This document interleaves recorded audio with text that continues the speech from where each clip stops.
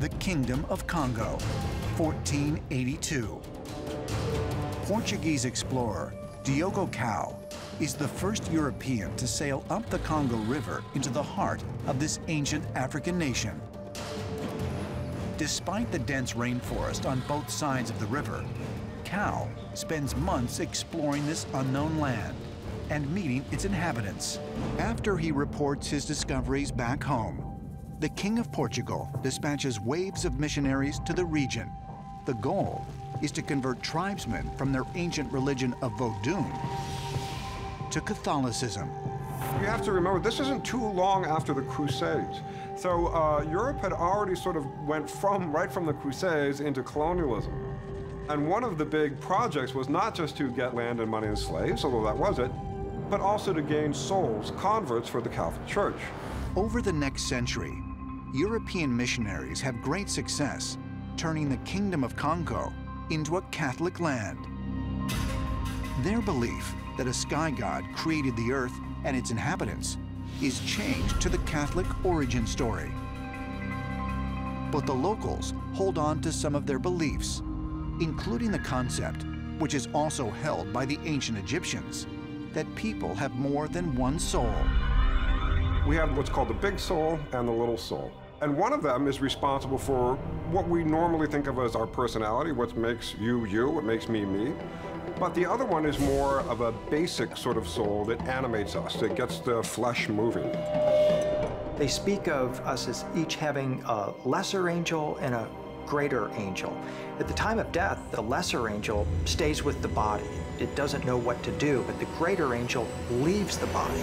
As missionaries convert much of the population to Christianity, traditional Bokors, or witch doctors, are forced to perform some Vodun ceremonies in secret.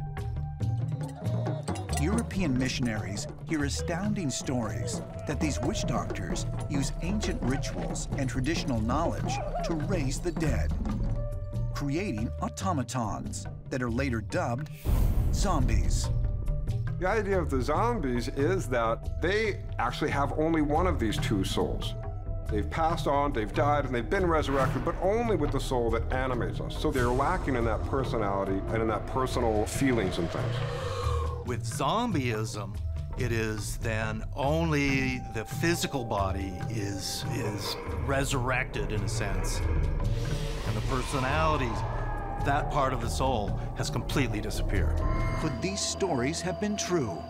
And if so, might this be proof that both the Egyptians and the tribes of the Congo were correct in their belief that our consciousness is divided into separate parts? But how could witch doctors, who lived hundreds of years ago, with no access to modern technology, have been able to breathe life into the dead, reviving just the part of the soul responsible for animating the flesh?